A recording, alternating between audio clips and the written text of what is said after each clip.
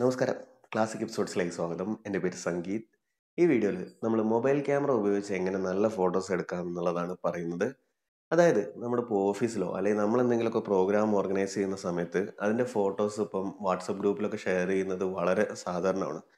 അപ്പോൾ ചിലരെങ്കിലും കാണും എനിക്ക് ഇതിന്റെ സെറ്റിങ്സ് ഒന്നും അറിയില്ല ഫോൺ ഫോട്ടോ എടുക്കാൻ അറിയില്ല എന്നൊക്കെ പറഞ്ഞിട്ട് എങ്ങനെയെങ്കിലുമൊക്കെ ഒന്ന് ഫോട്ടോ അയച്ചു കൊടുക്കാമെന്ന് മാത്രം വിചാരിക്കുന്നവർ അങ്ങനെയുള്ളവർക്ക് വേണ്ടിയിട്ടാണ് ഈ വീഡിയോ. അധികം സെറ്റിങ്സിലേക്കൊന്നും പോവാതെ എങ്ങനെ നമ്മൾ എടുക്കുന്ന ഫോട്ടോ നല്ല രീതിയിൽ എടുക്കാം എന്നാണ് ഈ വീഡിയോയിലൂടെ പറയുന്നത്. എന്തായാലും വീഡിയോയിലേക്ക് കിടക്കാം. ആദ്യം തന്നെ നമ്മൾ എന്തിനാണ് ഈ ഫോട്ടോ എടുക്കുന്നത് എന്നുള്ളത് നമുക്കൊരു ഐഡിയ വേണം. അതായത് ഇപ്പോൾ ഒരു മീറ്റിംഗ് ആണ് അല്ലെങ്കിൽ ഒരു വാക്സിനേഷൻ ഡ്രൈവ് അല്ലെങ്കിൽ കുട്ടികൾക്കൊക്കെ വേണ്ടിയുള്ള ഒരു പുതിയ പദ്ധതി എന്തോ ആവാം. നമ്മൾ എന്താണ് പരിപാടി നടത്തുന്നത്? അതിന് അതിന് എങ്ങനെയാണ് നടന്നത്? എത്ര പേര് പങ്കെടുത്തു? എവിടെ വെച്ചാണ് നടന്നത്? ഇങ്ങനത്തെ എല്ലാ ഡീറ്റെയിൽസും നമുക്കറിയാം. പക്ഷെ ഇത് പുറത്തുനിന്ന് കാണുന്ന ഒരാൾക്ക് നമ്മൾ അയച്ചു കൊടുക്കുന്ന ഒന്നോ രണ്ടോ ഫോട്ടോസിലൂടെ ഇത് മനസ്സിലാവണം. അതിനു വേണ്ടിയിട്ടാണ് നമ്മൾ ഈ ഫോട്ടോ അയച്ചു കൊടുക്കുന്നത്. പിന്നെ എന്തായാലും നമ്മൾ ഈ പ്രോഗ്രാം ഓർഗനൈസ് ചെയ്യാണ്. ഫോട്ടോസ് ഷെയർ ചെയ്യണം എന്നുള്ളതും ഇപ്പം എന്തായാലും ചെയ്യേണ്ട ഒരു കാര്യമാണ്. അങ്ങനെയുള്ള സമയത്ത് നമ്മുടെ ഉള്ളിലുള്ള മടി അങ്ങ് മാറ്റി വെച്ചേക്കുക. അതായത് എനിക്കിത് അറിയില്ല ചെയ്യാൻ അറിയില്ല എന്നൊക്കെ വിചാരിച്ചിട്ട് ഒരു മടി എല്ലാവരുടെ ഉള്ളിൽ മിക്കവാറും ഉണ്ടായിരിക്കും. അതങ്ങ് മാറ്റി വെച്ചേക്കുക നല്ല ഫോട്ടോസ് എടുക്കാൻ എന്ത് ചെയ്യണോ അതങ്ങ് ചെയ്യുക ഓർമ്മിക്കുക മടി മാറ്റി വയ്ക്കുക അടുത്തതായിട്ട് ലൈറ്റിന്റെ കാര്യമാണ് ശ്രദ്ധിക്കേണ്ടത്. അത് സൂര്യപ്രകാശം ആയാലും അത്രയും നല്ലത്. നേരിട്ട് വെയിലത്ത് പോകണമെന്നല്ല ആ വെയിൽ ഇങ്ങനെ പ്രതിഫലിച്ച് നമ്മൾ ആ റൂമിലേക്കൊക്കെ എത്തുമ്പം ആ ലൈറ്റ് യൂസ് ചെയ്യുന്നത് വളരെ നല്ലതായിരിക്കും. അതോടൊപ്പം തന്നെ റൂമിലുള്ള ലൈറ്റ് ട്യൂ ബൾബുകൾ ട്യൂബുകൾ എല്ലാം ഓണാക്കിയിട്ടേക്കുക നമുക്ക് കിട്ടുന്ന അത്ര ലൈറ്റ് ഓണായിരിക്കുന്നതാണ് മൊബൈൽ ഫോട്ടോ എടുക്കുമ്പം ഏറ്റവും നല്ലത്. അതുപോലെ തന്നെ ഒന്നോ രണ്ടോ ബൾബുകളൊക്കെയാണ് ഉള്ളത് നേരെ താഴെ നിന്നിട്ട് അതായത് ബൾബ് നേരെ മേലെ വരാത്ത രീതിയിൽ ശ്രദ്ധിക്കുക. ബൾബിന്റെ കുറച്ച് ബാക്കോട്ട് നിൽക്കുക. അതായത് ഫോട്ടോ എടുക്കുന്നതിന്റെയും പ്രോഗ്രാം നടക്കുന്നതിന്റെയും ഇടയിലായിട്ട് വരണം മുകളിൽ ബൾബ്. അതുപോലെ തന്നെ വേറൊരു കാര്യം ശ്രദ്ധിക്കേണ്ടതാണ് കൂടുതൽ ലൈറ്റ് പിന്നിന്ന് വരാതിരിക്കാൻ ശ്രദ്ധിക്കുക. അങ്ങനെ ആവുന്ന സമയത്ത് ക്യാമറ നോക്കുമ്പോൾ പുറത്തുനിന്ന് ഒരുപാട് ലൈറ്റ് വരുന്നതുകൊണ്ട് അതിനനുസരിച്ച് അഡ്ജസ്റ്റ് ചെയ്തിട്ട് മുമ്പിലുള്ളതൊക്കെ ബ്ലാക്ക് ആയി പോകാനുള്ള സാധ്യതയുണ്ട്.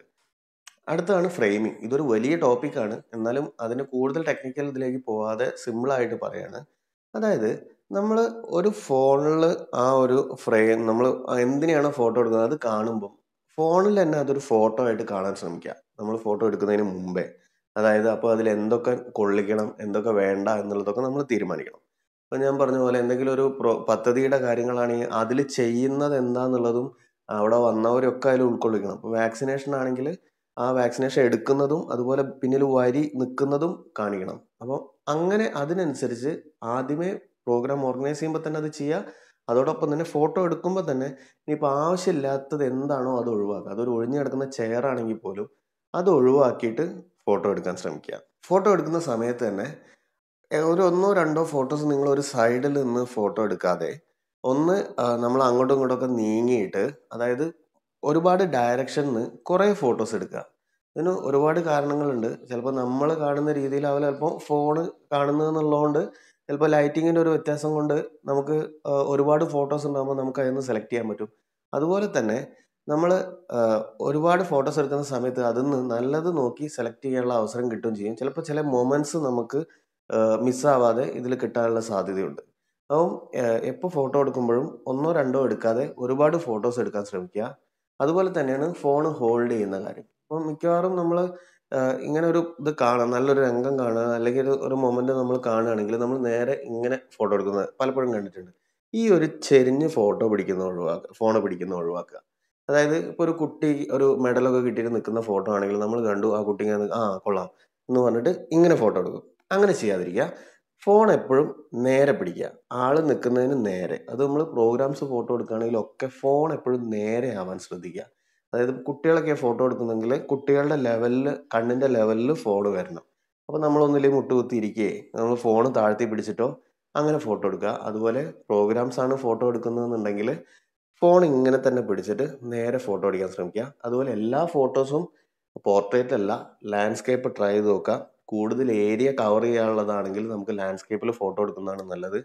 ഇങ്ങനെ പിടിക്കുന്നതിന്റെ വേറൊരു ഗുണം എന്ന് പറഞ്ഞാൽ നമ്മൾ രണ്ട് കൈകൊണ്ടും കൂടിയാണ് പിടിക്കണം എന്നുള്ളതുകൊണ്ട് കുറച്ചും കൂടെ ഷെയ്ക്ക് ഒഴിവായി കിട്ടും.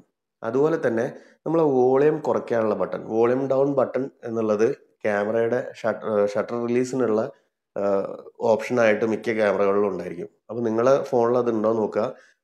ഇങ്ങനെ ഹോൾഡ് ചെയ്ത ശേഷം വോളിയം ഡൗൺ പിടിക്കുകയാണെങ്കിൽ നമുക്ക് ഫോട്ടോസ് എടുക്കാൻ കുറച്ചുകൂടി എളുപ്പമുണ്ട്. അപ്പം ഷേക്ക് ഇല്ലാതെ ഫോട്ടോ എടുക്കാൻ നല്ലൊരു ഓപ്ഷനാണ് കാരണം ഇങ്ങനെയുള്ള സമയത്ത് നമ്മൾ സ്ക്രീനിലെ ബട്ടണിൽ ഞെക്കുമ്പം പലപ്പോഴും ചിലർ ഒരു ഷേക്ക് വരാൻ സാധ്യതയുണ്ട്. അത് ഒഴിവാക്കാൻ വേണ്ടിയിട്ടാണ്. അടുത്ത ശ്രദ്ധിക്കേണ്ട കാര്യമാണ് ടൈമിങ് അതായത് ഞാൻ പറഞ്ഞു നമ്മൾ ഒരുപാട് ഷോർട്ട്സ് എടുക്കണം. അതുപോലെ തന്നെ നമ്മൾ ഇപ്പോൾ ഞാൻ പറഞ്ഞ വോളിയം ഡൗണിലൊക്കെ ആണെങ്കിൽ നമുക്ക് ബേസ്റ്റ് മോഡ് ഉണ്ട്. നമുക്ക് ഒരുപാട് ഷോട്ടുകൾ എടുക്കാൻ പറ്റും. ഈ ഒരു സമയത്ത് എന്താ വെച്ചാൽ നമുക്ക് മഹേഷിന്റെ പ്രതികാര സിനിമയെ പറഞ്ഞ പോലെ എന്തെങ്കിലും നടക്കാൻ പോകുന്നതിന് തൊട്ട് മുമ്പ് നമുക്കത് മുൻകൂട്ടി കാണാൻ പറ്റും അതിപ്പോൾ ഈ അവാർഡ് ദാനം അങ്ങനത്തെ ഇതിലൊക്കെയാണ് നമുക്ക് വളരെ എളുപ്പമാണ് നമുക്കറിയാം പേര് വിളിച്ചിട്ടാണ് അത് കൊടുക്കുന്നത്. അപ്പോൾ നമുക്ക് തയ്യാറായിരിക്കുക ആ കൊടുക്കുന്ന മൊമെന്റിൽ ഫോട്ടോ എടുക്കണം. അപ്പോൾ അതിന് നിങ്ങൾക്ക് അത്രയും പറ്റില്ല എന്നുണ്ടെങ്കിൽ ആ കൊടുക്കുന്ന സമയം തൊട്ട് എടുത്തുകൊണ്ടേ ഇരിക്കുക. എന്നിട്ട് ആ ഒരു മൊമെന്റ് അപ്പോൾ അതിന്റെ ഇടയിൽ എന്തായാലും നമുക്ക് ക്യാപ്ചർ ചെയ്യാൻ പറ്റും. ഫോട്ടോസ് ക്ലിക്ക് ചെയ്തുകൊണ്ടേ ഇരിക്കുക. ആ ഒരു മൊമെന്റ് മിസ്സാവാതിരിക്കാനുള്ള പ്രിപ്പറേഷൻസ് എന്തായാലും ചെയ്യുക. ഈ ടൈമിങ് ഫോട്ടോ എടുക്കുന്ന കാര്യത്തിൽ വളരെ ഇമ്പോർട്ടന്റ് ആണ്.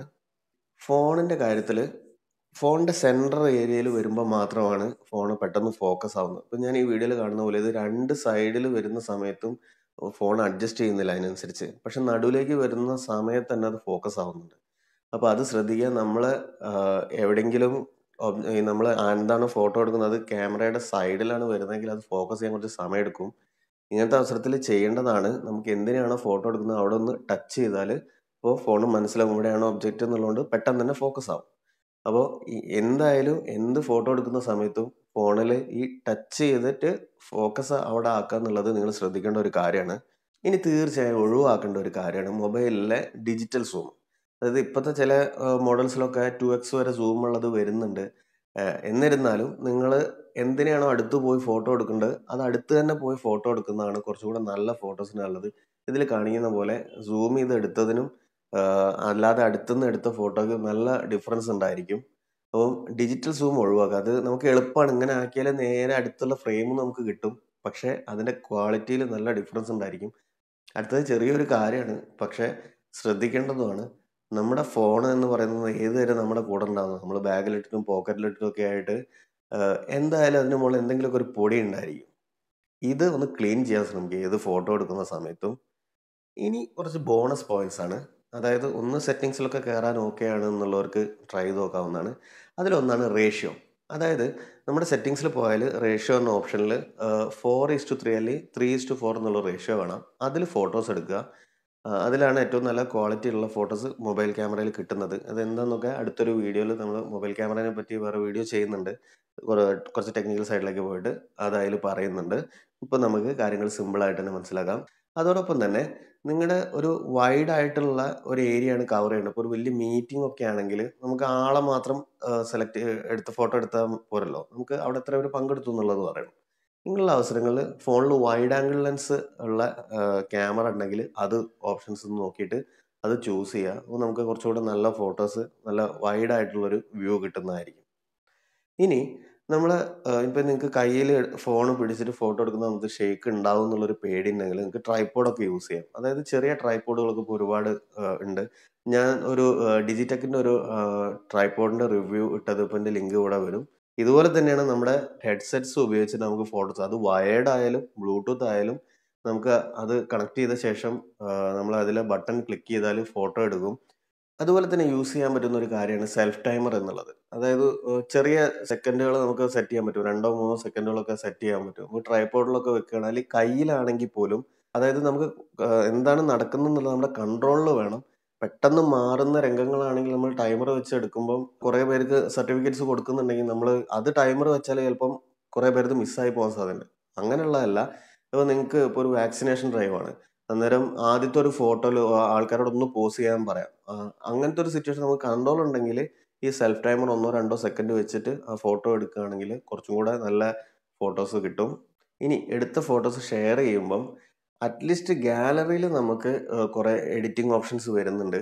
അതിൽ ആവശ്യമില്ലാത്ത കാര്യങ്ങൾ ഒന്ന് കട്ട് ചെയ്ത് ഒഴിവാക്കാനെങ്കിലും ഒന്ന് ശ്രമിക്കുക. അതുപോലെ തന്നെ ബേസിക് അഡ്ജസ്റ്റ്മെന്റും ബ്രൈറ്റ്നസ് ഒക്കെ ഒന്ന് കൂട്ടിയിട്ടൊക്കെ നമുക്ക് ഫോട്ടോസ് ഷെയർ ചെയ്താൽ കുറച്ചുകൂടെ നന്നായിരിക്കും. അതുപോലെ വാട്സപ്പിൽ അയക്കുന്ന സമയത്ത് അത് ഇമേജ് ആയിട്ട് അയക്കാതെ അതിന്റെ അറ്റാച്ച്മെന്റിന്റെ ഓപ്ഷൻ എടുത്താൽ അതിൽ ഡോക്യുമെന്റ് എന്ന് ഓപ്ഷൻ ഉണ്ടായിരിക്കും. ആ ഓപ്ഷനിലൂടെ ഷെയർ ചെയ്താൽ കുറേ കൂടെ നമ്മുടെ അതേ ഇവിടെ നിന്നുള്ള അതേ ക്ലാരിറ്റി തന്നെയാണ് അവിടെ എത്തുന്നത്. ഇപ്പം ഇത്രയാണ് ബേസിക് ആയിട്ട് ഈ മൊബൈൽ ഫോട്ടോഗ്രാഫിയെ പറ്റി പറയാനുള്ളത്. നിങ്ങൾക്ക് ഉപകാരപ്പെട്ടെങ്കിൽ താഴെ കമന്റായിട്ട് അറിയിക്കുക. ഉപകാരപ്പെടുമെന്ന് തോന്നുന്നവർക്ക് ഷെയർ ചെയ്തും കൊടുക്കുക. സബ്സ്ക്രൈബ് ചെയ്യാൻ മറക്കരുത്. അടുത്തൊരു വീഡിയോ ആയിട്ട് കാണാം. താങ്ക്